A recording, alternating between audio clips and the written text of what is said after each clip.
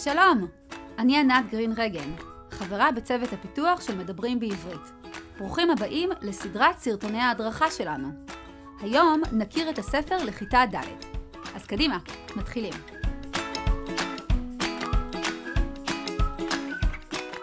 ספר ד' הוא המשך לספר לכיתה ג'. הספר שלנו מרחיב ומבסס את כל מיומנויות השפה. דיבור, האזנה, כתיבה, קריאה, ידע לשוני, וכמובן הרחבה של אוצר המילים בעברית. הספר כולל ארבעה פרקים. לכל פרק יש נושא שמייחד אותו, מעין עולם שצוללים אליו. עולם השפות, עולם הלמידה, עולם השכונה ועולם הטבע. אפשר לראות מהנושאים האלו גם את הגישה שמאפיינת את הספר. לנוע בין מה שקרוב ומוכר לתלמיד אל מה שרחוק ואחר ממנו. כלומר, מתחילים עם העולם האישי של הילד, השפה שהוא מכיר בבית. לאחר מכן עוברים למרחב של הכיתה, מרחיבים עוד אל השכונה, ואחר כך מרחיבים עוד יותר למה שקורה בעולם הסובב אותנו. הגישה הזאת נועדה להרחיב את נקודת המבט של הילד, כמו עדשה של מצלמה, שעוברת כל הזמן מזום אין לזום אאוט וההפך. כל אחד מהפרקים מהעולמות האלה כולל בתוכו שלוש יחידות לימוד. הפרק הראשון, לומדים שפות, עוסק כולו בנושא של שפות. השפות שאנחנו מכירים או לומדים.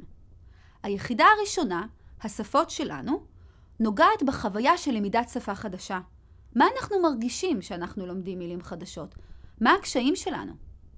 היחידה השנייה, שפות אחיות, מתמקדת בקשר שבין השפה העברית לשפה הערבית ומציגה מקרים שמשתמשים במילים דומות בעברית ובערבית ולפעמים גם באנגלית. היחידה השלישית, שפה של ציורים, מתמקדת גם כן בשפה, אבל לא בשפה שמדברים, אלא בשפה של ציורים, האמוג'י. האם האמוג'י שכולנו משתמשים בהם הם ממש שפה? שאלה טובה. נעבור לפרק השני, לומדים בכל מקום, שגם הוא מתחלק לשלוש יחידות.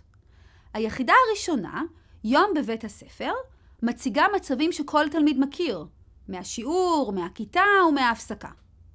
לאחר מכן ביחידה השנייה, מה לומדים היום, אנחנו מרחיבים את המושג למידה אל מה שנמצא גם מחוץ לתחומי הכיתה, למידה בחוג, עם חברים או עם המשפחה. היחידה מדגימה שכולנו לומדים, אבל כל אחד מאיתנו גם מלמד משהו למישהו אחר. ביחידה השלישית, לומדים ביחד, אנחנו מציגים אפשרויות שבהן ילדים מבתי ספר יהודים וילדים מבתי ספר ערביים לומדים ביחד, משחקים ונפגשים.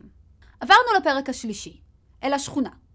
גם הוא מתחלק לשלוש יחידות. ביחידה הראשונה, ליד הבית, מפרטים את מה שיש בשכונה ומה אנחנו אוהבים בה. היחידה השנייה, יוצאים מהשכונה, עוסקת באיך מגיעים ממקום למקום בשכונה ומה קורה כשמחכים בתחנה. ביחידה השלישית, איפה המפתח, פוגשים מצב שכל ילד מכיר. אמא, איבדתי את המפתח הביתה, ומחפשים אותו בכל השכונה. עוברים לפרק הרביעי והאחרון. מוכנים? בפרק הרביעי אנחנו מרחיבים את המבט אל מה שמתרחש בעולם ובקשר שלנו עם בעלי החיים. ביחידה הראשונה, איפה החתול, מחפשים אחרי חתול שהלך לאיבוד, ובכלל מדברים על חיות מחמד.